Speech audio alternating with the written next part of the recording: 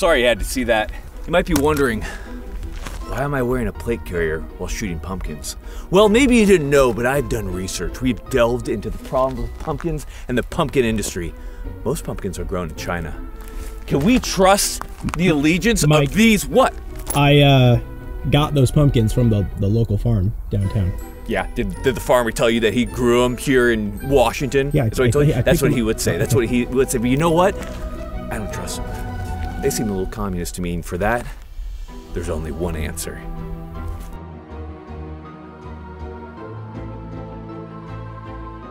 Let's go check out that pumpkin, see how it's doing. And, uh, you know, we're using experimental 556.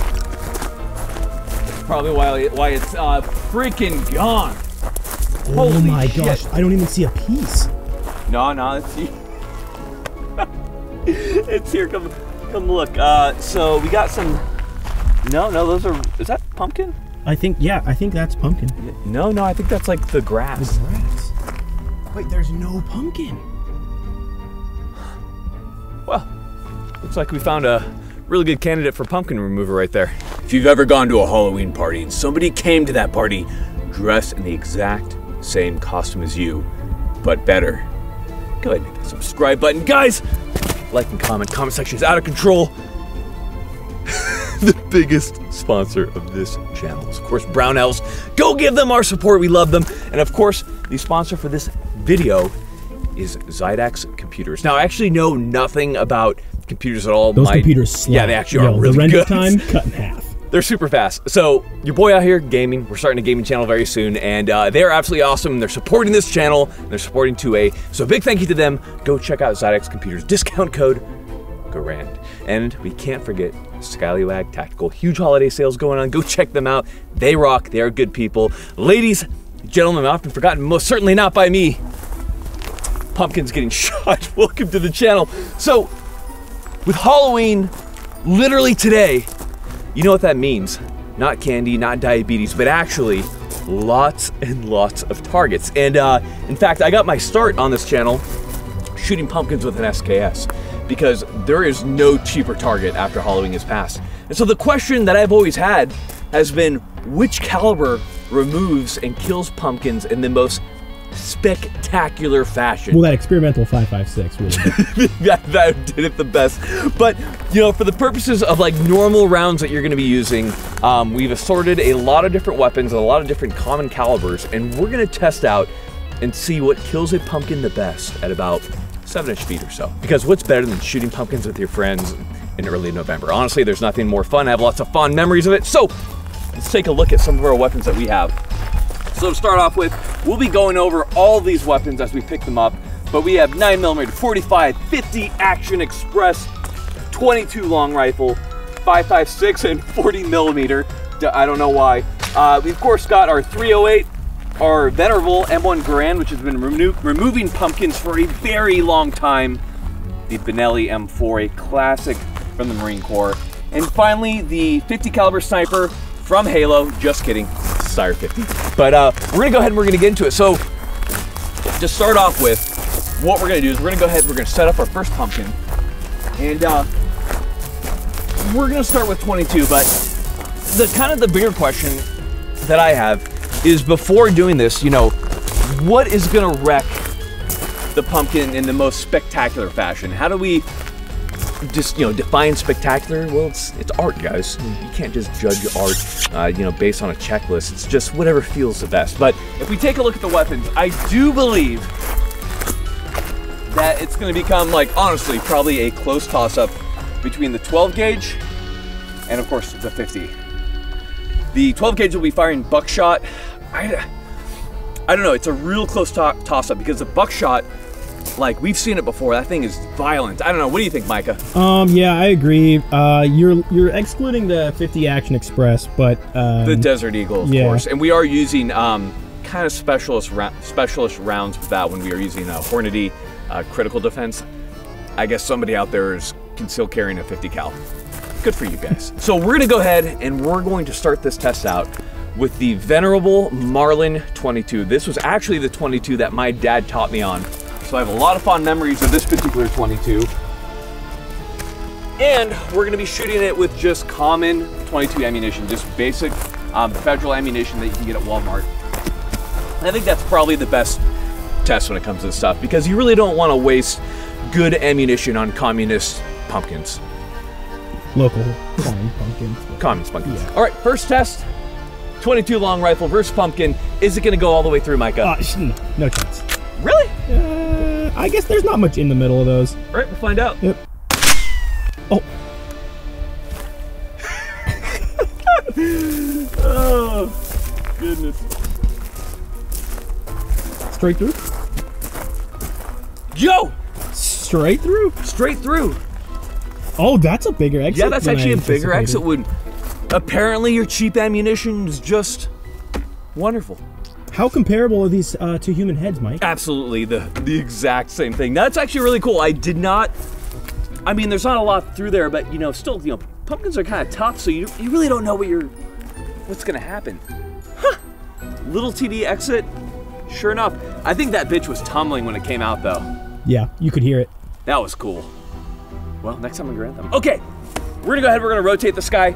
We're gonna try with nine mil because uh, you know obviously 22 is not gonna just rip that thing apart. That pumpkin is still good. We want to make sure that we're you know using these uh, pumpkins in a way that is you know fair to the to the other pumpkins out there. What am I doing with my life? All right, Micah, come on, bring it in. So let's take a look at this. We have a Glock 17 right here. This is a very common 9mm firearm. Um, when it comes to 9 mils, guys, tons out there. They're all great. Um, in this case, this is one of my favorite weapons, one of my carry guns, and uh, we're gonna go ahead and we're gonna see how your basic 9mm ball, pretty cheap ammunition, will do when it goes through a pumpkin. Do you think it'll be better than the 22? Oh, there's no chance it's better than 22. I agree. You know, You know, it's pretty comparable. I really kind of thought there'd be just a little bit more. You know what? Yeah, You know, it's the same. you, will you take a look at that? Just Wait, here, here, show us okay, the okay. nine, and then show us the. 22. Yo, I this is you. earth-shattering. I think 22 is a more deadly caliber than nine. Look at the little exit wound. FMJ every time. You know what? I here's what I think. All right, the 22 was a lead was just a lead bullet, right? Not plated at all. I I'm pretty sure that little bitch deformed when it hit the pumpkin skin. Yeah. And just mushroomed out. And this guy just had so much energy, it just you know just Buds everywhere, rejoice. We have the venerable 1911. Now, this particular bad boy right here is a Nighthawk. Very expensive uh, 45. They do cost around, I think, 3 to 4K, but they are incredibly well made, as you can see here, and they are just gorgeous. So we're gonna go ahead and we're gonna check out with our basic 45 caliber ball how this is gonna do through a pumpkin. Micah, predictions. Definitely the biggest uh, exit we're gonna have. You know, um, if you have you ever seen like a 500 pound JDAM like strike the ground and just blow no. up? Why would? I'm just saying that as far as 45 is concerned, it did win two world wars. Just saying, man. Food for thought. All right, 45 caliber ball. Here we go. 230 grains of America coming right at you. Two world wars. Oh, we have a bee on there too. Oh, can I get it? yeah, yeah. Uh-huh. Whoa! You got him. Oh!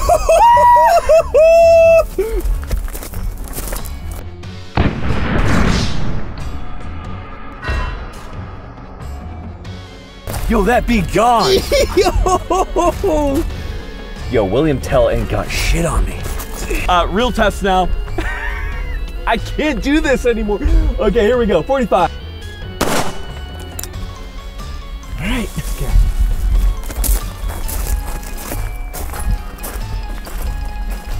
Science is. Wait, what? The?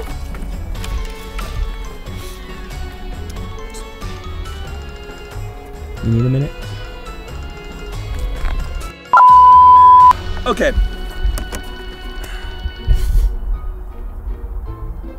Very upset right now.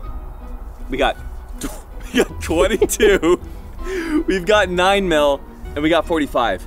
But you know what? I will give it to the 45 that it did kill that wasp and I freaking hate wasps. So that makes me feel a little bit better. And it's proved its name. And also pretty cool. Look at that wound channel from the 45 when it nailed that wasp. Gorgeous. God. Go- gorgeous. You know, damn it. I just really thought it would do better than that, you know? It's sad. There's only one way to finish this guy off, though. 100%. The Desert Eagle. Okay. It's not a gun. It's a tiger. Whatever form it chooses to be in. All right, we have the tiger striped Desert Eagle. Why is it tiger striped? Well, I asked for a Desert Eagle back in the day in 50 Action Express, which is a ridiculous caliber. God, that's crazy. And uh, they sent me a tiger striped one because, you know, why not? Here's what I want to do with this one. We are going to shoot this at about seven feet again, but if it doesn't do anything spectacular, I think we're gonna point blank this guy with the 50. Yeah, I agree. Okay. Because you know what? First off, I'm disappointed at how little damage these pistol rounds are doing, but I just want to see something die. You know, because these pumpkins just aren't doing much, and I just I want them to What are you here for, Mike? the violence. Speaking of the violence, go check out my t-shirts at Bunker Branding. Link below.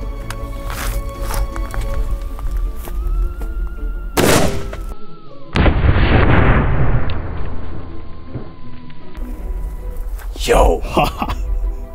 okay. Hold up, let's get a shot straight through. Hold on, can you see me through? Yeah, smile. Oh, yeah. Yo. Okay. Woo. Wait, yo, do we gotta censor this? I know what I have to do, but I don't know if I have the strength to do it. Uh, that is what I expected from like a 45 to be honest. I'm not even joking. Like I thought I would give it a little bit more. I get it. You know, we were firing ball and this is a hollow point. But still, that was pretty awesome. Uh, should we point blank this guy now? Oh!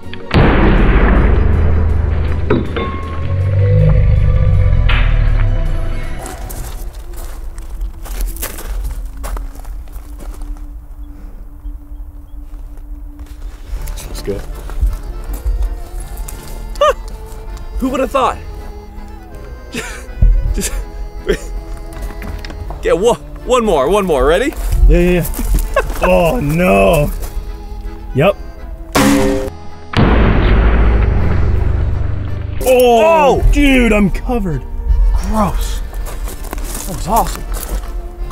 Well, that's how you remove the stem from a pumpkin. Oh, carving pumpkins. Yeah, carving pumpkins, that's all. Having a good time. Pistols, completely underwhelming in my mind. Fun, for sure, because you can see the impacts, but, you know, the question is, as we get into our rifle calibers, what are we gonna see? We'll save this one for later. You never know. Got your basic 20 inch Predator AR 15 with uh, 55 grain ammo. And uh, this bitch is gonna be going, I don't know, like 32, 3,300 feet per second. So Spicy. very spicy. Uh, what do you think it's gonna do? Uh, less than the pistols. You might be right. Yeah. Okay, let's find out. Here we go.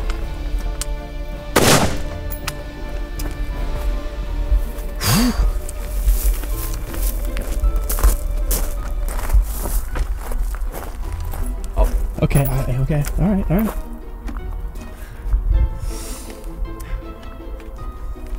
Nice. Nice. Very good. Science. is Science. alive. Science is alive again. Um, that is what you would expect because the 556 is a tiny, tiny little round, right?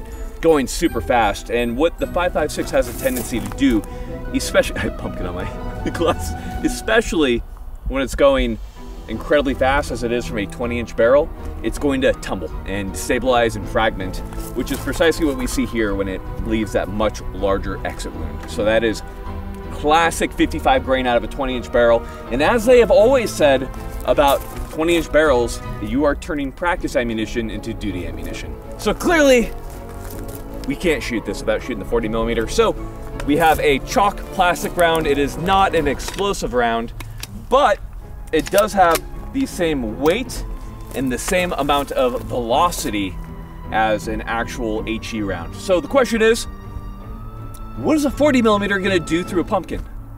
Pretty good contender for, I feel like, most spectacular kill. Yet we left that one out. Didn't think about it. You know what? Didn't occur. It's orange chalk on orange pumpkin. We might not even see what happens. Very Halloween. Very Halloween like. All right. Uh, I don't think I actually need the uh, ladder sight for this one.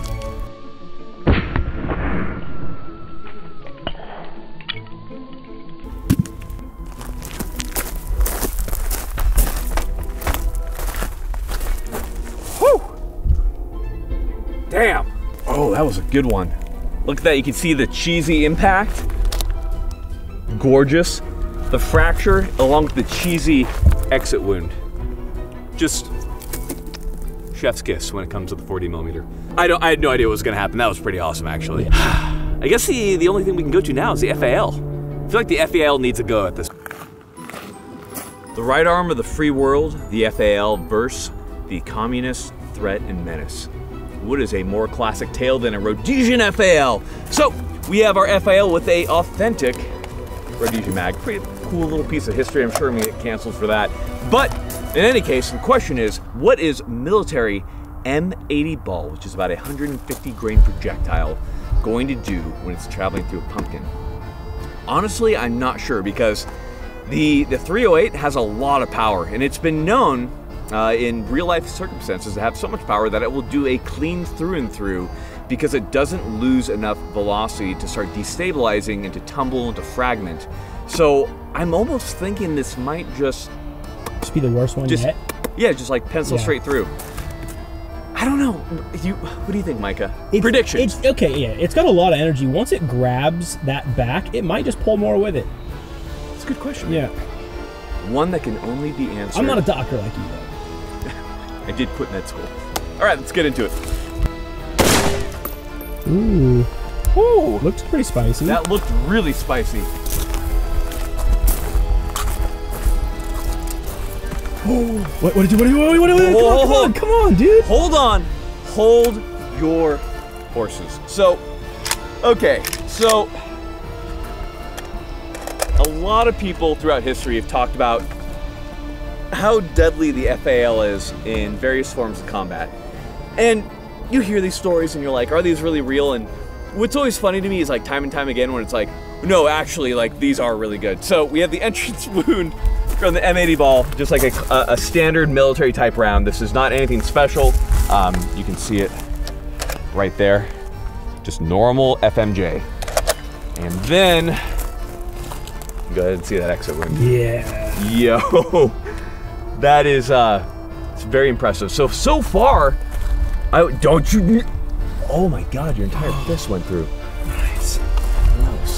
So I'm gonna say for right now that as it stands, the FAL is currently the winner. Yeah, oh, definitely. the 100% the winner. Even over the 40 mil. It, it didn't crack it. It didn't crack it. I'm not gonna disagree. Yeah. Not. You know what? Hold on. Let me see how many pumpkins we have. Okay. It's gonna be the Garand next. But that one's gonna be interesting. Let's go pick up the Garand and talk about it. After my namesake, the M1 Garand. You know, this weapon has served for a long, long time, from World War II through the Korean War. In fact, many regulars use it through the Vietnam War, and of course, more recently, you just see it pop up everywhere. The Garand is a very venerable firearm, is a semi-automatic weapon feeding from these eight-round en bloc clips that are inserted into the weapon. Now, in the case of these rounds, it's a little bit unfair compared to the FAL, but you know what? We gotta ramp things up. So these are soft points for hunting. So I'm guessing that it's going to literally blow this pumpkin Yeah. like huge hole out the back. Um, the 308 and 30-06 are actually, when it comes to the military loadings, very similar in terms of power. So I'm very interested to see how the good old M1 Garand does. Micah, what do you think? Uh, yeah. It being a soft point, I think we're gonna see just a lot of people. You know, and it should be noted how ammunition dependent a lot of these calibers are. So, with some good ammunition, let's go ahead and see what happens. Okay, hold on. I see daylight, so I'm guessing it's going to be pretty brutal. Uh, predictions, Micah? Yeah, dude, I saw that. That's that's brutal. It's what That was- exactly what I said. You know the mist. I saw a lot that's of pumpkin. telltale, s- telltale the, the telltale pumpkin mist. Um, think this is gonna be pretty, pretty good. All right, here we go. The big reveal. Pretty freaking good. Where's Um, the FAL one? Com- Let's compare that. Oh yeah, yeah. Let's look at the FAL. You know. You know, now to be No, fair, hold on. hold you on. Fit, you okay? Fist it. You know what? Actually, kind of similar. Yeah.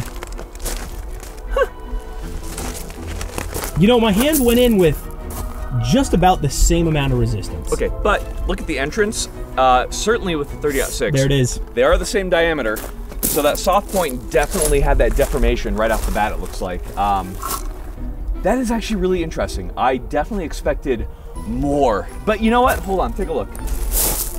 You can see here, see the cracks from Oh, the pressure. yeah. We didn't quite have that with the 308 because of just FMJ Yeah, just yeah. passing clean through. And then on the exit, let's see, looks like a few cracks there. And and show them how big those cracks like go around on the other Oh side. yeah, like you could see Yeah. these cracks running. So you could see how much force that came out with, and uh, pretty incredible overall. Jelly of my Benelli, the Benelli M4. The Marines Combat Shotgun is here to once again save the day. So the Benelli M4 is a semi-automatic 12 gauge shotgun, and this guy, um, it's just really good. And I, I think of every weapon we're gonna fire today, I do believe that the shotgun is gonna be the just the the stopper, the pumpkin stopper. It's gonna be super violent, right? Pumpkin Mike? carver, you could pumpkin say. carver. So we're gonna be firing buckshot through the sky and. Um, Is this critical defense? no, no, because critical defense has such that small Oh, okay, pattern. okay. So I, I'm using cheaper stuff actually, and it should have a wider pattern. I really think at seven feet, we're just going to. I think that's my prediction. My prediction is we're gonna blow this pumpkin away. Nut up or shut up. Three, two, one.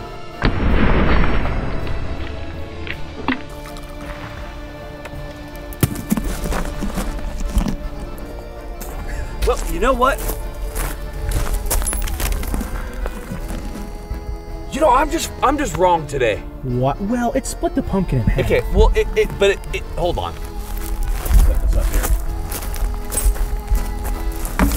It split the pumpkin in half. Okay, that pumpkin was intact. We can't let. Listen, Micah, science. I mean, clearly it did a lot of damage, but really not as much as I thought. And maybe it's because pumpkins aren't a great medium for what you consider damaging from a firearm. I mean, we're in a completely different territory. We're not talking about killing humans and ballistic damage. We're talking about killing pumpkins. And the question is like, what caliber is the best? And apparently, like as cool as your 12 gauges are, like not as good as you'd think. Do you think maybe just like a little bit further to have like more pellet spread and Yeah, you might be right. Should, flip it around. Flip it on the side. Okay, Let's we'll it flip it again. on the side. We're gonna try it from like a little bit further away, and we'll see if that makes any Yeah, difference. yeah.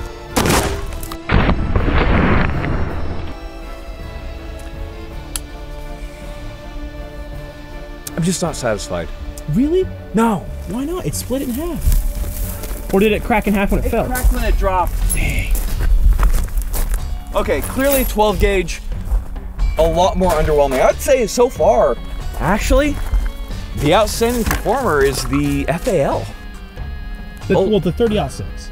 I'm gonna give it to the FAL. Okay, okay. Because that's like standard FMJ. That yeah, thing you're just. right. Yeah, you're right. The FAL coming back for the win once again. Good job, you know, UK and everybody who adopted the FAL. That was clearly the right choice. I Guess there's only one thing we have left to do at this point the 50.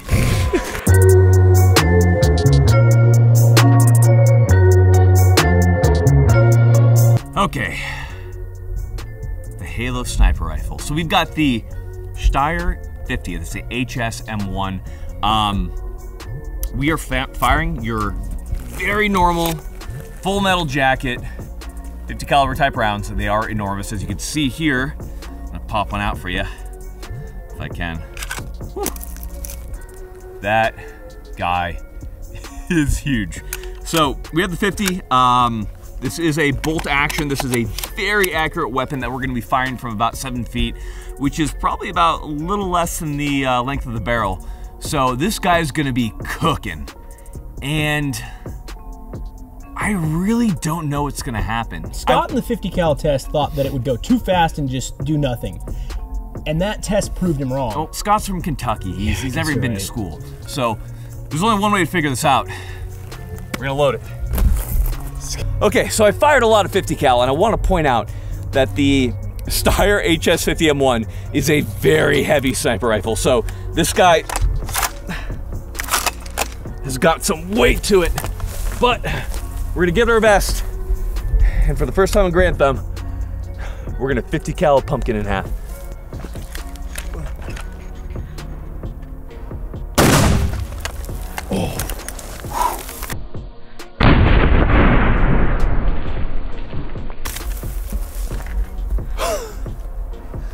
First off, really light recoil because it's got a huge brake on it. Uh, actually, I want to see that. Go ahead and chuck that round out. Let's go check that. Okay, that is a very that's that is the biggest entrance that we have, and surprisingly, not as big as you'd think. Yeah. You know what? Hold on. Let's pick up the. uh Let's look at yeah the that's, that's the FAL. Yo. Hold on, where's the M1? Uh, let's pull up the M1 as well. Yeah. Well. Oh, dude, I can't get my fist in it. You know what? I I really do think with the 50 that we didn't quite have like. All right. So this is a discussion. This is actually real talk right here. Discussion of why you have larger caliber rifles, right? You're launching a larger projectile, it's gonna be more stable through the wind, it's gonna be able to resist that more, and you're gonna be able to put more powder behind it with those larger rounds. But the point isn't for these guns to be used in close quarters. The point is, is that their engagement distance can be much further. So, you know, with the 50, that thing's just got so much speed. I actually do think it just, it just No, these Straight are through. these are pumpkins. There's no fluid. there's no fluid, so there's nothing for it to really do. And I think that 50's got so much ass that when it comes to killing pumpkins, like, it's just not the play. But you know what? What the play is? The FAL. You're right. But here's a bigger question What happens if we line up like five of these pumpkins, and shoot the FAL through it? What do you think it's gonna do? Oh, go. Venerable FAL. Here, once again, to shoot through five pumpkins to see That's four pumpkins. to shoot through four pumpkins because the other ones are pretty jacked up right now. So, four pumpkins, FAL, FMJ, 308. What is going to happen? Original Rhodesian FAL magazine. I can't wait to see. Man, can we talk about how light the FAL is? Like, it is a really handy light Uh, you did just finish handling that Steyr HS50. That's a good point. I'm feeling pretty, like I got bicep pump, you know? Feeling Yeah. pretty good. Let's do it. All right, I'm gonna try to get it through all of them. Ready, Micah? Yep.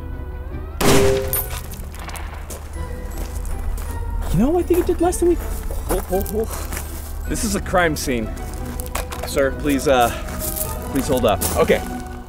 So, here's the entrance right here. Here is the exit. Whoa. Oh, Wait. You were not at that crazy of an angle. I think it deflected through it. It def. Look at that. Yeah, hold on. Look, see the bottom? It deflected Yeah. down. Interesting. And then, yeah, so it deflected got down. all four, I yeah. might have aimed a little low, so let's try that one more time.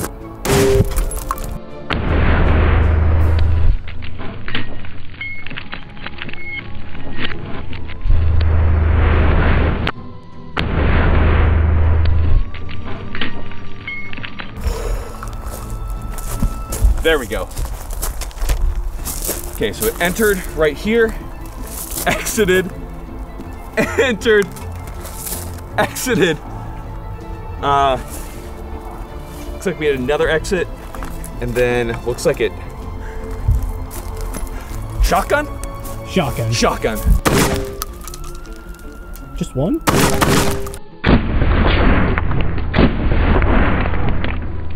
Entrance, exit, entrance, exit. Oh, look at that. You can see the spread. It's just exiting out the back. You oh yeah, what? that came out pretty slow. It did. Should we put a uh, federal slug through it? Yeah.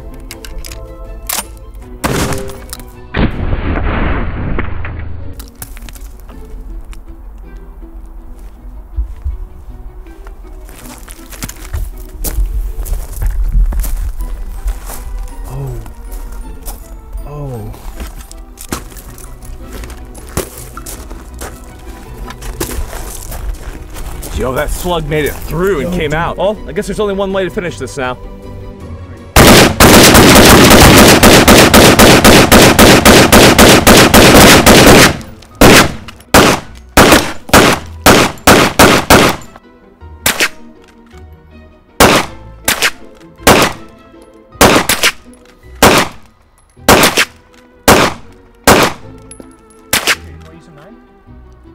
Sure. Want to Yeah, yeah, yeah. Cool. Thanks, man. Thanks, bro. Yeah.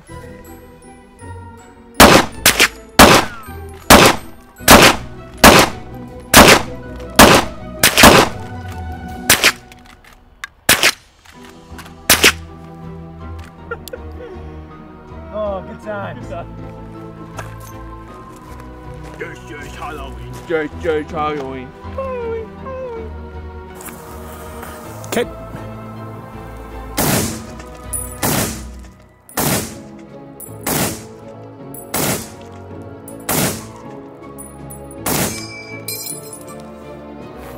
Guys, thank you for joining us for this Halloween special. Kind of stupid, but you know what? Um, shooting um, is something that's fun. And shooting pumpkins is something that I have done for a long time with my buddies ever since I was a kid up through college, just grabbing a bunch of cheap pumpkins and having a good time. So, uh, if there's anything I hope that this can convey to you, it's just training is, of course, really important, and you should be training because, of course, um, we harp put upon it a lot in this channel that training is important and that being the weapon is important. But you know what? There's nothing wrong with going out, clearing your head, having a good time with your buddies, and just shooting dumb shit like pumpkins. Now, of course, at your local ranges, make sure you clean this stuff up. This land is owned by us. We're going to clean this up in just a little bit. But in any case, um, the year is closing out. Hope you guys are staying safe. And we're just going to launch right into it. My dad advice for you is to make sure and enjoy life. Life can be fleeting at times, and enjoy it because it is a gift, and I hope you guys are spending it well. Love you guys. We'll talk to you later.